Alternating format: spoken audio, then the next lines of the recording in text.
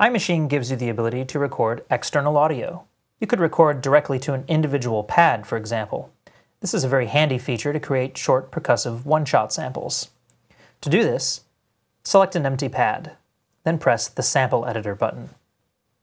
Here you have a record page. When you're ready to record, just press the record button.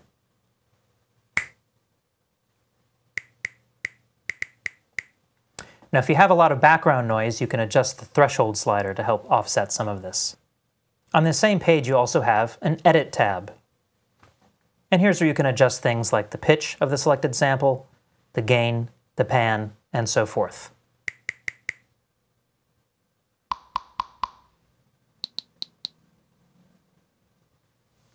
In addition to recording one-shots, you can also record full-blown vocal ideas.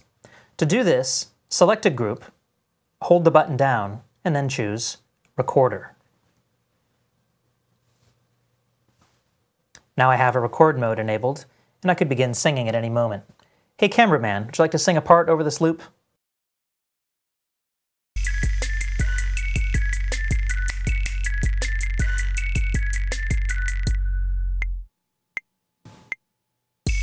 Yeah, yeah, yeah, yeah, yeah.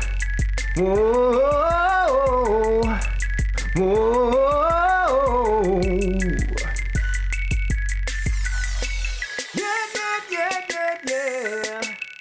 Whoa.